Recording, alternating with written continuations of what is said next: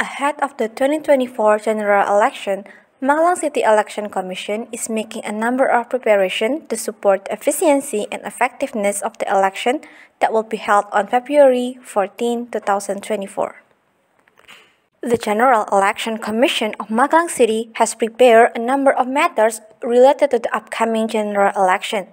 One of them is preparation of logistics that has been adjusted to the permanent voter list and the regional list along with the distribution of polling officer committees. Moreover, the General Election Commission of Magelang City also cooperates with the police corps and Linmas to ensure security in the implementation of this year's election. Even though it has been prepared as well as possible, the General Election Commission of Magelang City has also faced obstacles in several times for preparing the election. Kami sudah menyiapkan uh, untuk logistiknya, jadi kayak sekolah suara itu sudah sudah siap ya. Kemudian petugas-petugasnya juga sudah kami siapkan begitu.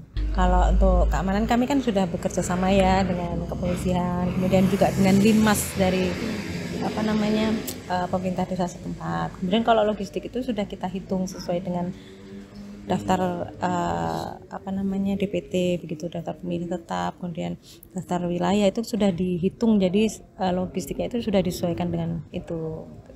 Mungkin untuk uh, merekrut gitu ya kali mungkin saat ini yang kemarin-kemarin ada sudah itu merekrut uh, petugas mungkin ya. Karena kan banyak orang eh, enggak semuanya bersedia gitu. Terus ke, yang kedua yang anu mungkin mengajak orang untuk apa namanya ya memilih gitu ya untuk nanti mereka yeah. menggunakan itu kan saat ini uh, kami punya target berapa uh, 82 persen untuk target pemilih nanti besok masuk. Tapi uh, itu nanti itu tadi banyak warga yang sudah kayak antipati gitu ya. Tapi itu mungkin yang jadi PR gitu ya Although there are many challenges faced by the Magelang City General Election Commission, the Magelang City General Election Commission has prepared various kind of preparation and anticipatory effort to welcoming the 2024 general election.